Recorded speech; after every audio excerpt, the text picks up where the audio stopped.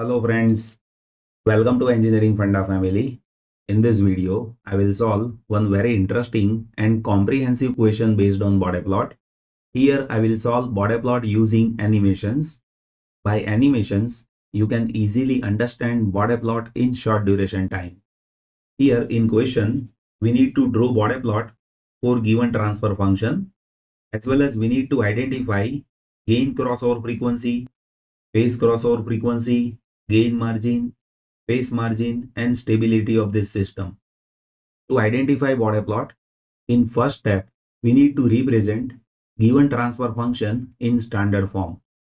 So in first step, we need to represent given transfer function in standard form. See in standard form, we need to represent all the poles and zeros in form of 1 plus s divided by something. So here you can observe in 0 we have s plus 3. So if you take 3 common then here we will be having 1 plus s divided by 3. In denominator we have s and here we have 1 plus s. Here we have s plus 5. To represent s plus 5 in form of 1 plus s by 5 we need to take 5 common from here. So in standard form, here I have took 3 common from numerator, you can observe, and 5 common from denominator. So constant is 100 into 3 divided by 5, that is 60. And here we have standard form, that is there in form of 1 plus s divided by something. Once we have standard form, in second step, we need to identify slope of first line. Slope of first line is based on location of pole or zero at origin. Here you can observe with given system, we have one pole at origin. As we have one pole at origin, first line slope will be minus 20 dB per decade. So in second step, we need to identify slope of first line that is based on location of pole or zero at origin. We have one pole at origin. That's why slope of first line is minus 20 dB per decade. If we have one zero at origin, then slope of first line should be plus 20 dB per decade. If you have two poles at origin, then slope of first line should be minus 40 dB per decade. Right. Now in third step, we need to identify gain of first line at frequency 1 radian per second. This gain of first line at frequency 1 radian per second is based on constant. Here constant is 60 for standard form. So gain will be 20 log k, k is 60. So this gain at omega is equals to 1 radian per second for first line that will be 35.5 dB. Now we need to understand all corner frequencies. See here in this transfer function, if you observe, we have 0 at 3 radian per second. We have pole at 0 radian per second. We have pole at 1 radian per second. We have pole at 5 radian per second. So first of all, we need to write all the corner frequencies in ascending order. So here in frequency, lowest value is 0, then 1, then 3, and then 5. Now we need to list whether given frequency is pole or 0. So here you can observe we have one 0 at 3 and other are poles, right? One should know with single pole, slope is minus 20 dB per decade and with single 0, slope is plus 20 dB per decade. So you need to note down all those slopes. Now we need to identify resultant slope. See with first line, slope is minus 20 dB per decade.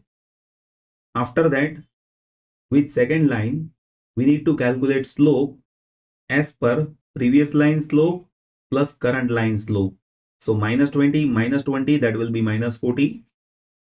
Here minus 40 plus 20 that will be minus 20 here minus 20 minus 20 that will be minus 40 dB per decade so that is how we need to make a table Once we make a table, we can plot gain plot. One should know in Bode plot we have two different plots. One is of gain and second is of phase. Gain plot procedure that we have done. In phase plot based on transfer function, we need to identify phase equation. So first of all, what we need to do is we need to place s is equals to j omega in this. If you substitute s is equals to j omega in this, then we can write phase. For zeros, phase is positive and for poles, phase is negative. If you observe the equation, then here we have one pole at origin. If you have one pole at origin, then angle is minus 90. So for this S, angle is minus 90 over here. Now you can observe here we have S plus 1. Instead of S, we are placing j omega. And for pole, angle is negative. So here we have negative sign and angle will be tan inverse imaginary by real. So imaginary that is omega divided by real that is 1. So that is minus tan inverse omega for this pole. For this pole, we have minus tan inverse imaginary is omega divided by real that is pi. Here we have 1 0 at s is equals to minus 3. If you place s is equals to j omega over here, then for 0 angle is positive. That will be tan inverse imaginary by real. So that is omega by 3. So that is how we can make phase equation. Once you have phase equation, you need to make a table of phase randomly you should be selecting frequencies like you should identify at least 8 points. Like you can consider 0.1 omega radian per second then 0.5 then 1 then 5 radian per second then 10 radian per second. Likewise just note down points and using calculator identify this phase so here you can observe i'm listing frequencies 0.1, 0.5, 0.15 and for these frequencies I'll be calculating phase. That will be this only. I have done this calculation. You just check it in your calculator. This should be the phase for these frequencies. Here at least you should be taking 10 points. So here I'm taking few more points like 10 radian per second 100 500 and 1000 radian per second. And for these frequencies I'll be identifying phase value right? So if you observe the phase value that is listed over here. Once you make a table of phase and once you make a table of corner frequencies, you can plot gain plot and phase plot.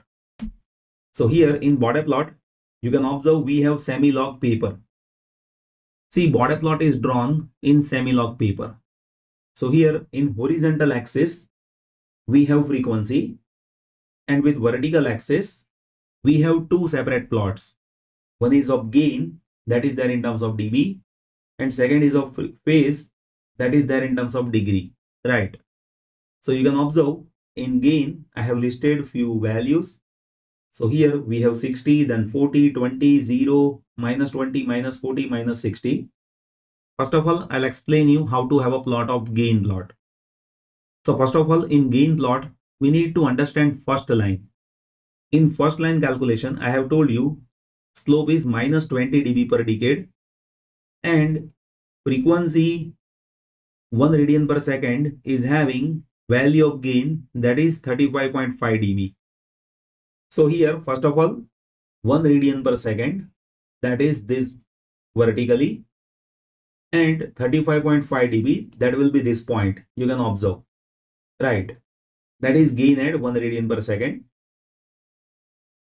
in gain plot, we need to plot first line that is having slope of minus 20 dB per decade. So you need to understand what is minus 20 dB per decade. See, decade means from here to here, one decade is there. And here you can observe from this point to this point, we will be having 20 dB. So from here to here, one decade and then go 20 dB down means this point and then stretch a line that will be minus 20 dB per decade line, right? So this is what first line that we are plotting. Now you need to have that table of corner frequency. So in corner frequency, we have first corner frequency that is omega is equals to 1 radian per second. And this frequency is having slope of minus 40 dB per decade. So here we have 1 radian per second corner frequency. So what you need to do is you need to darken this line. So first of all, dark this line. Now from here onwards, slope is minus 40 dB per decade. So you need to go from here to here that is decade and here to here we have 40 dB. So if you stretch line from this point to this point that will be having slope of minus 20 40 dB per decade right? So this is light line initially. Now mark out corner frequency. So next corner frequency is 3 so here we have 3 radian per second. Now we need to dark this line. You can observe. Now with this corner frequency 3, we have resultant slope that is minus 20 dB per decade. So here from 3 to 3 we need to go and from here 20 dB down that is this. And stretch a line from here. So you can observe 3 to 3 minus 20 dB per decade slope. That is this line.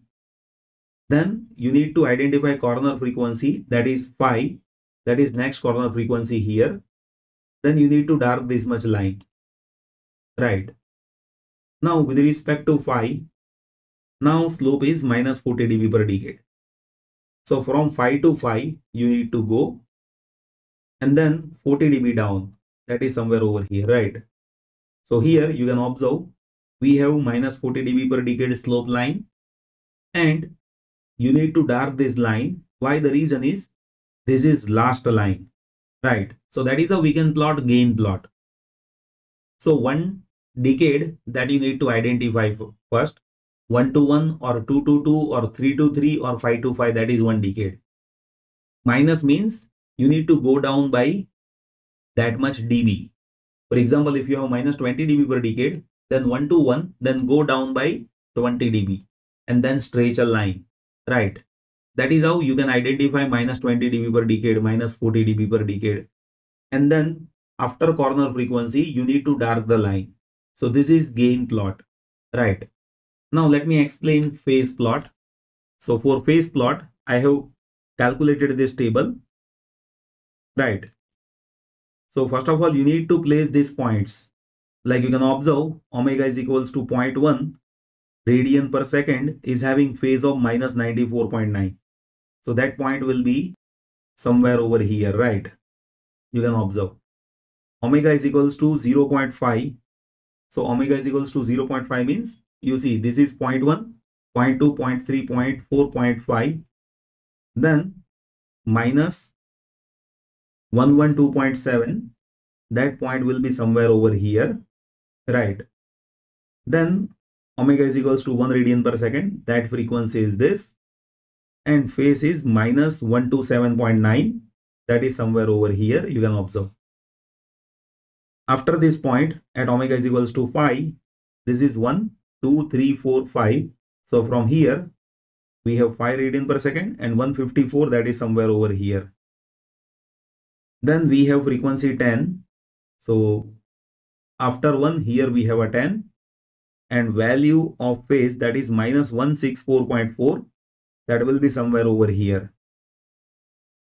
Then we have 100 so here we have 100 that is having 178.2 so it is not touching this minus 180 then you can observe at 500 again it is not touching 180 that will be somewhere over here and then 1000 that is having this frequency over here once you note down the points you just need to join this you can observe.